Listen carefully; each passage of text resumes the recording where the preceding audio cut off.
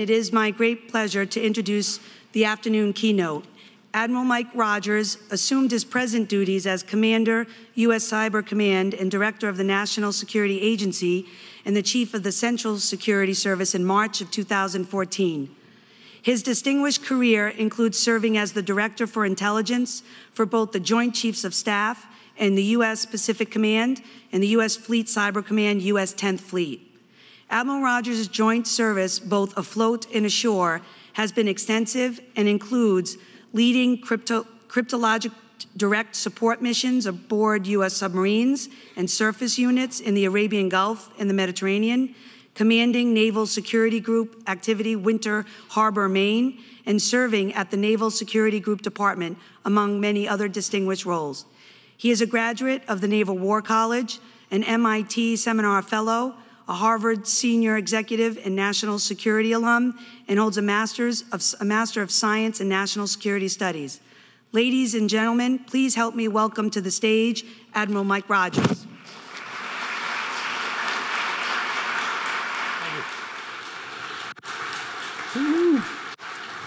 Can you hear me in the upper deck in the back? We're good? And can you hear me down below?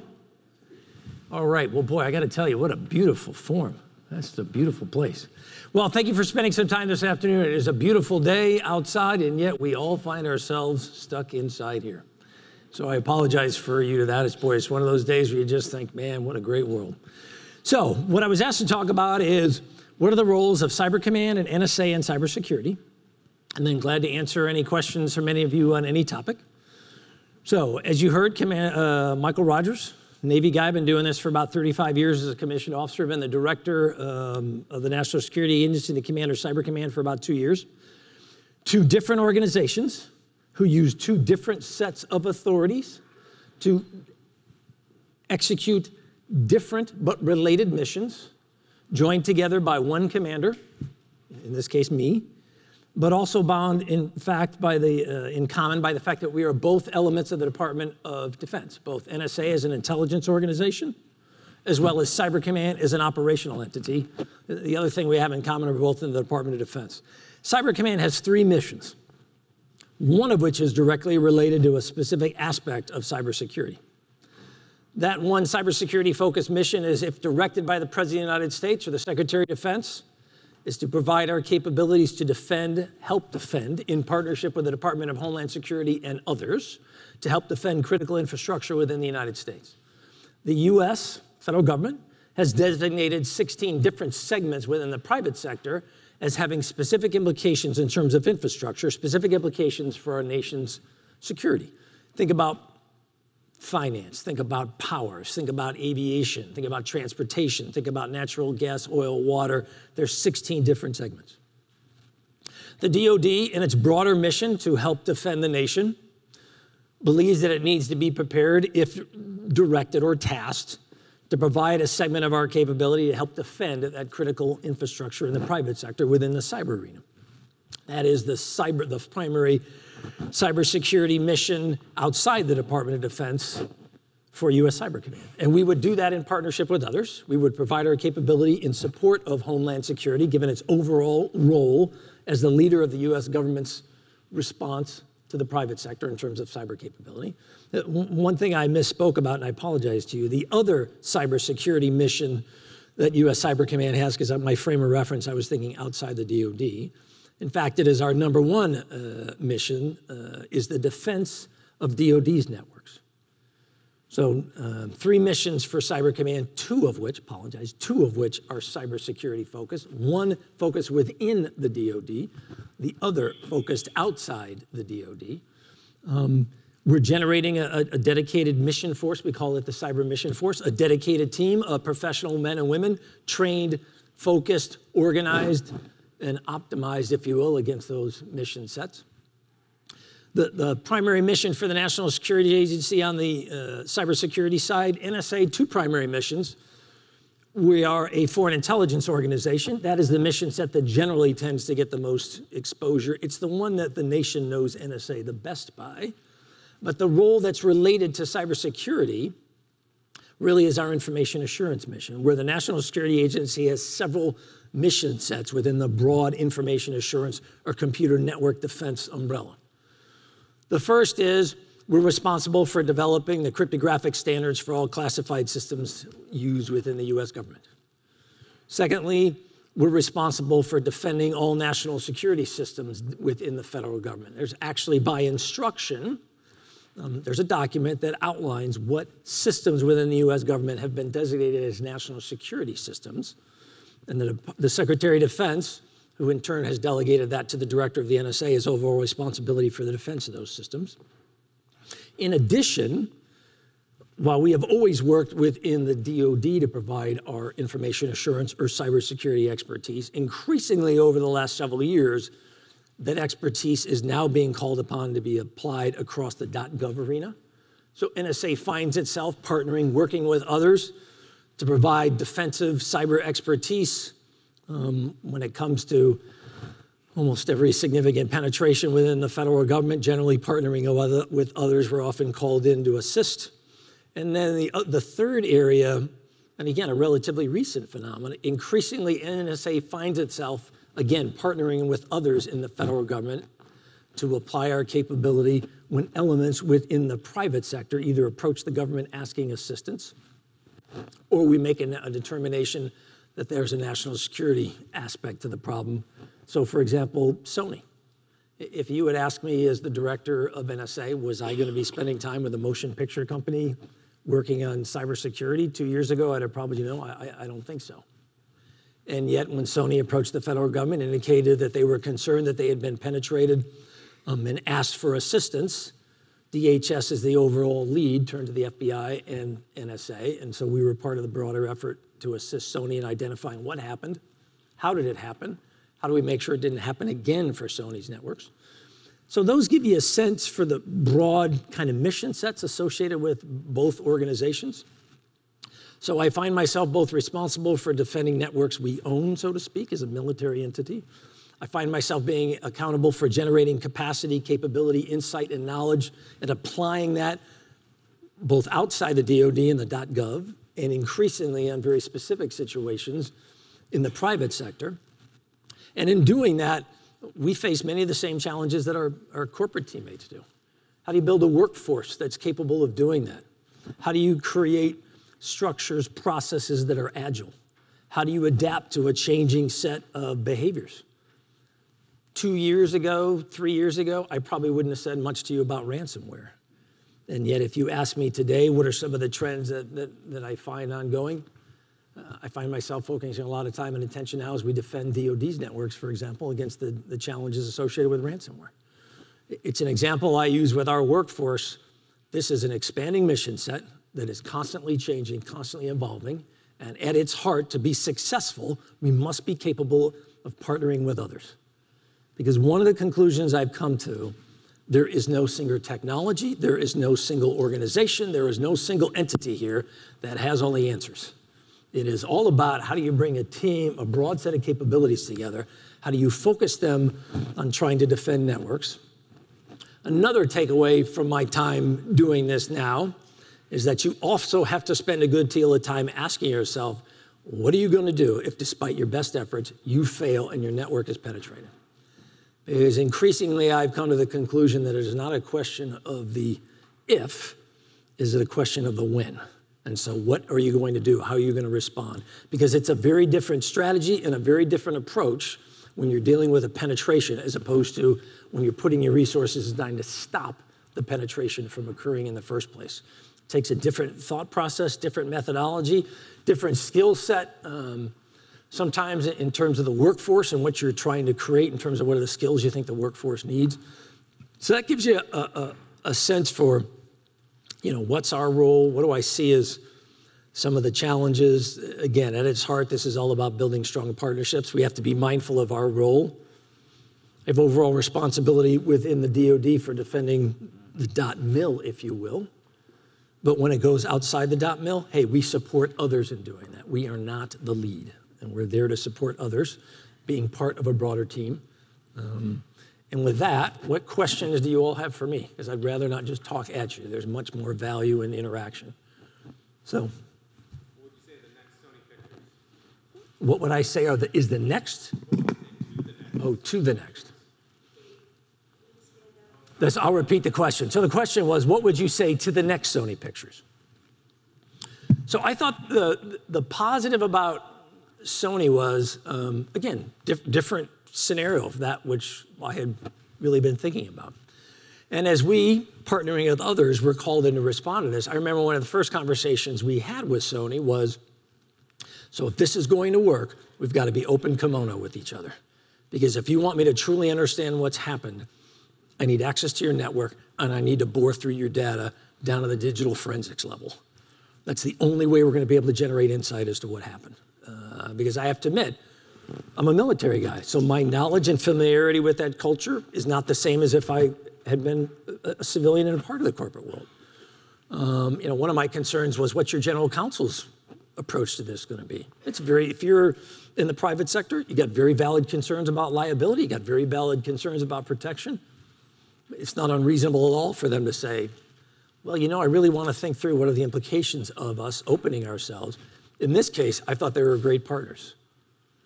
They said, okay, we understand, we have no problems. Uh, we sat down and talked about what we were going to do. We were very you know, open with them. Here's what we're going to do, here's the process we're going to use, here's the methodology we're going to use.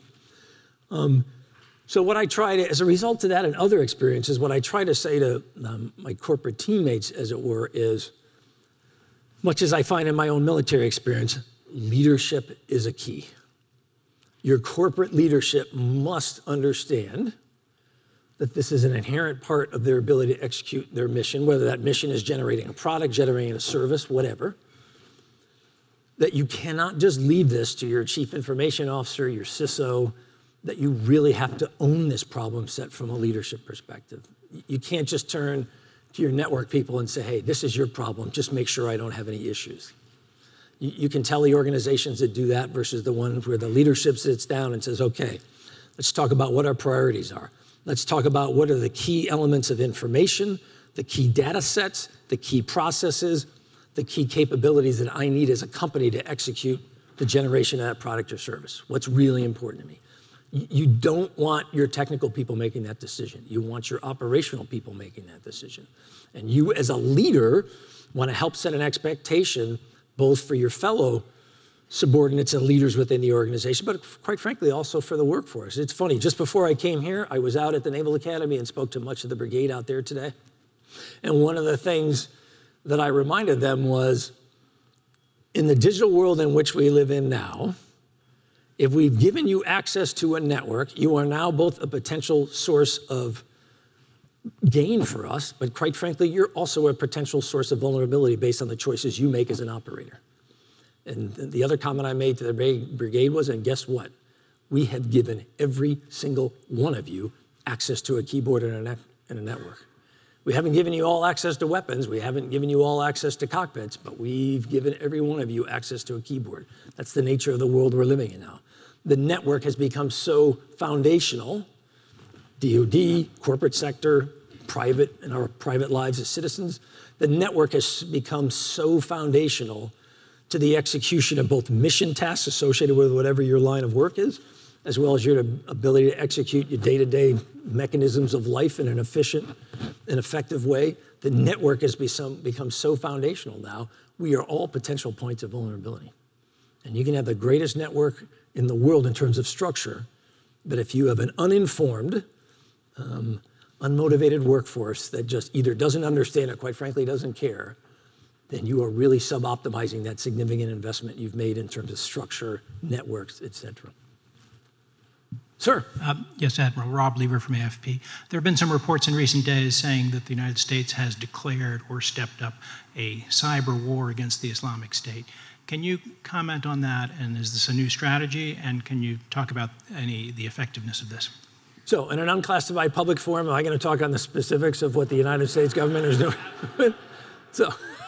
Aside from that, what a great question. So this is what I, you know, we have publicly acknowledged that we are using cyber as another tool in our efforts against ISIL in Syria and Iraq. We have publicly acknowledged that.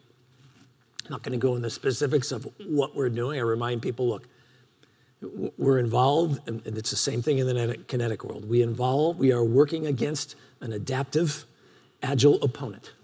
And I'm not interested in giving them any advantage. Um, on the other hand, we do want them to be aware we are going to contest you in the kinetic battlefield, we're going to contest you in the information dynamic.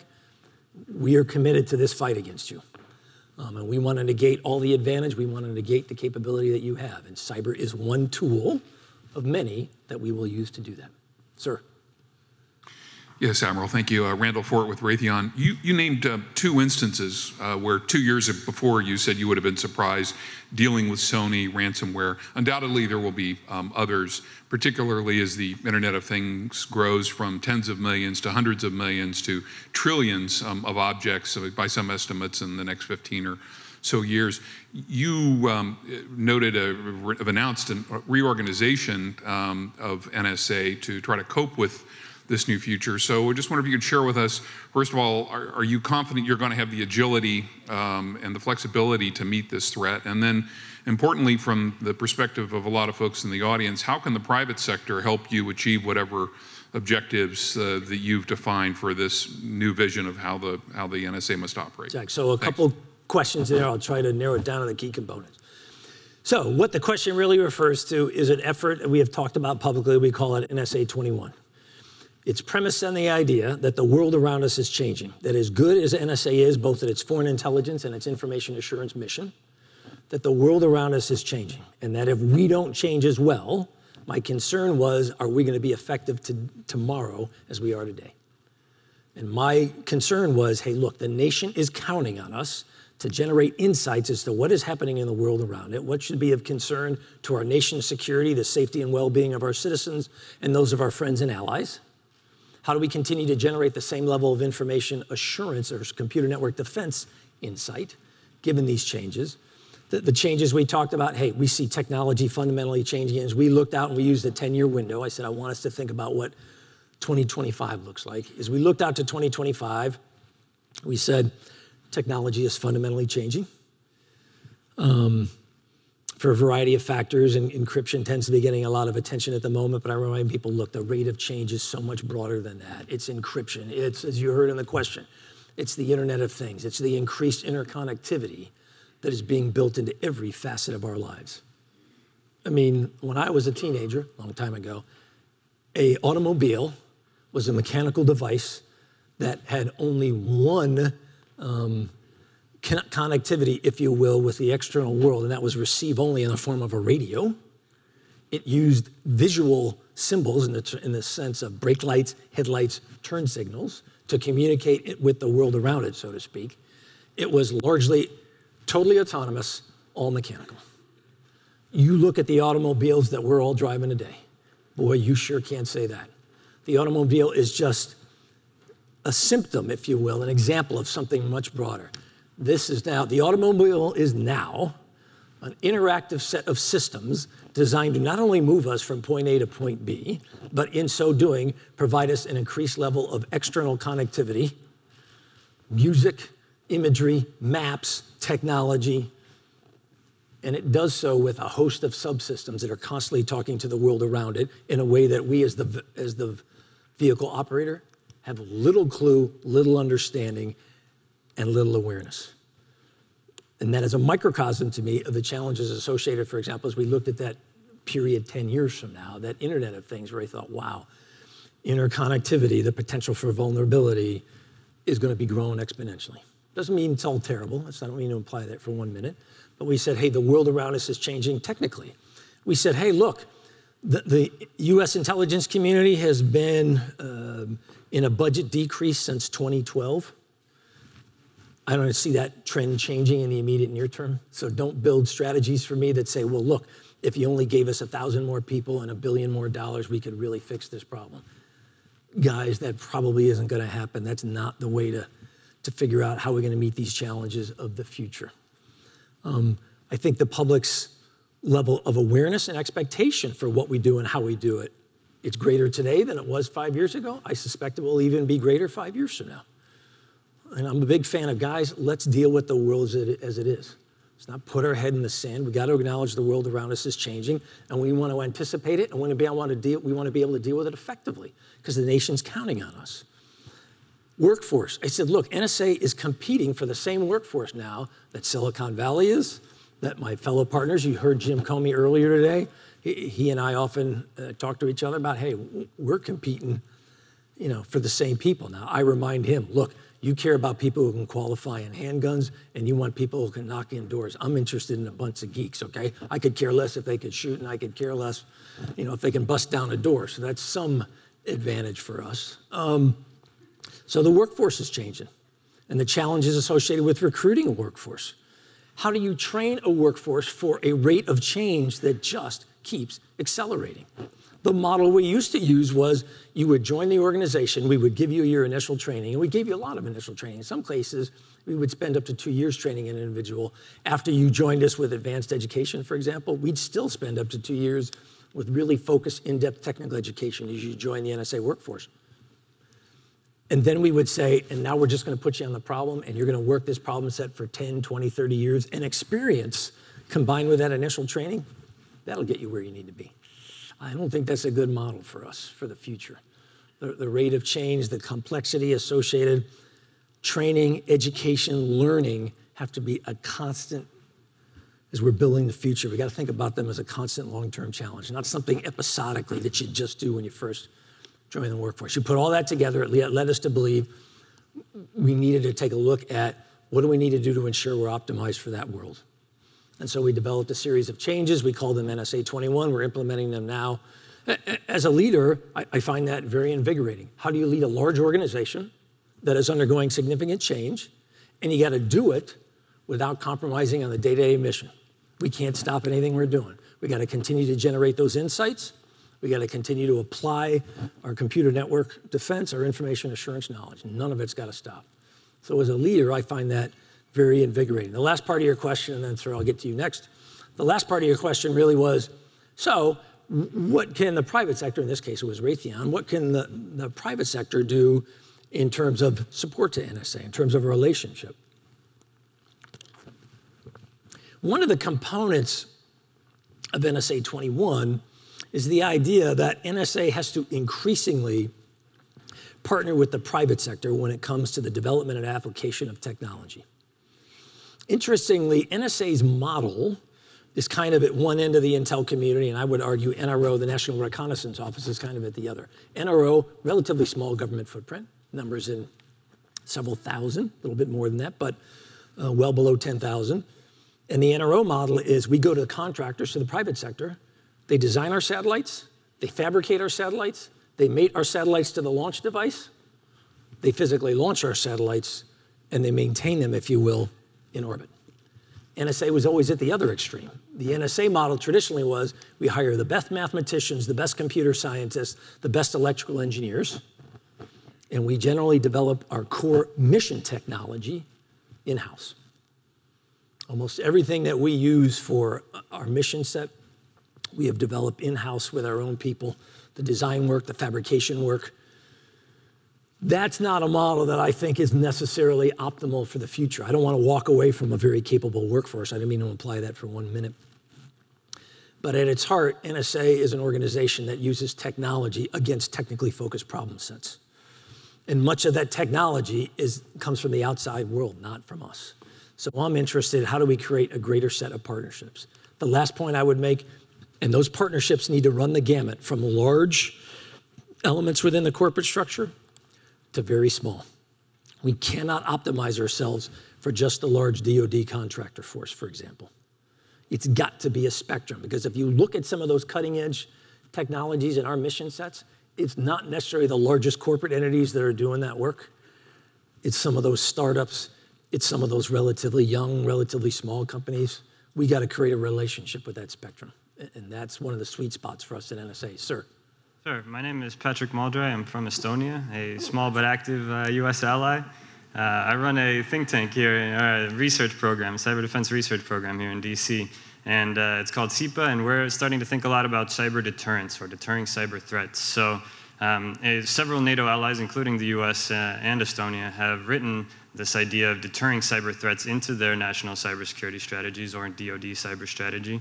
Uh, your recent Hill testimony yielded a lot of the word deter on a control F search.